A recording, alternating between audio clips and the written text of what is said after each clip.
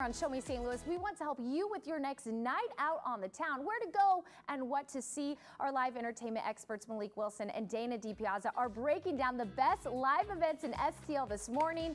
And I have a feeling you might just catch them up at a few of these shows, you two. That is exactly right, Mary. Now, we just cannot get enough of live music this summer. And of course, we have to share these unforgettable experiences with all of you. That is absolutely right, which is why we've compiled a list of shows covering all kinds of genres that will have you ready to grab your tickets and enjoy the show right here live in the Lou.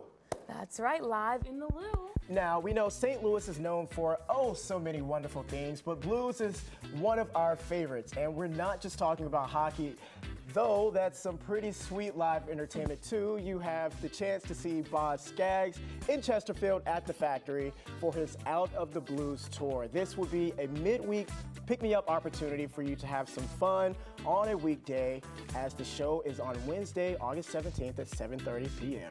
Sounds good to me. And you know, Malik and I actually haven't gotten the chance to go to the factory just yet, but I've heard amazing things. One venue I have recently gotten to know very, very well is the St. Louis Music Park in Heights. I just got to see Surfaces and Laney there, which was such a blast, but now we have even more icons passing through the Lou. Calling all rock lovers, ZZ Top will take the St. Louis Music Park stage on August 18th at 7.30. Then the iconic and oh so talented Girl on Fire, Alicia Keys, will start your week off right as she's performing there on Monday, August 22nd so you can add those shows to your weekday fun calendar. Man, what an awesome way to start off your week. Alicia Keys doesn't get much better than that.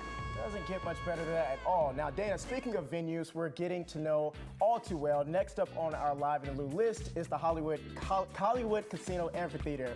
Now, Dana, and I just recently saw Chris Brown and Lil Baby there, and the crowd was a blast. I think Dana had a little too much fun but everyone was just enjoying each other's company and, of course, the music. But the relaxed lawn setting is super cool and unique.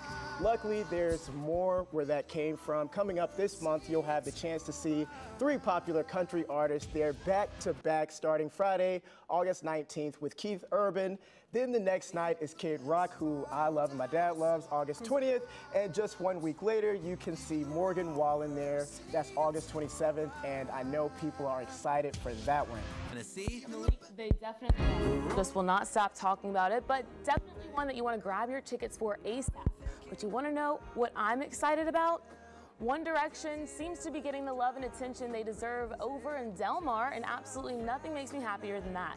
On Saturday, August 20th, Delmar Hall is hosting an event called Best Night Ever, which is a 2010s pop dance party inspired by the One Direction boys. And if that's not exciting enough, Malik, I know you're on the edge of your seat about this already. You can attend Haylor Night the following weekend at Blueberry Hill. So if you're wondering, Dana, what is Haylor? Well, I. I it's my very great friend, of course, we know Harry Styles, and his ex-great friend, Taylor Swift. That's right, it's another fabulously themed night for the Harrys and the Swifties so Malik, get ready. You might just have to come with me to that one too. I know you're just dying to go to that.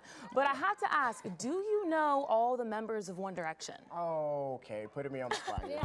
But I know Taylor Swift and I've heard of oh, her. Oh. And that's what matters. Right, that's, that's what matters. Boo. As long as you know Taylor Swift, Boo. you're good to go. No, no. Listen, you're a Swifty. I'm a Swifty. But here's the thing. Most Swifties are Harry Styles fans. I loved Ooh. Harry's house. I do know all the members of One Direction.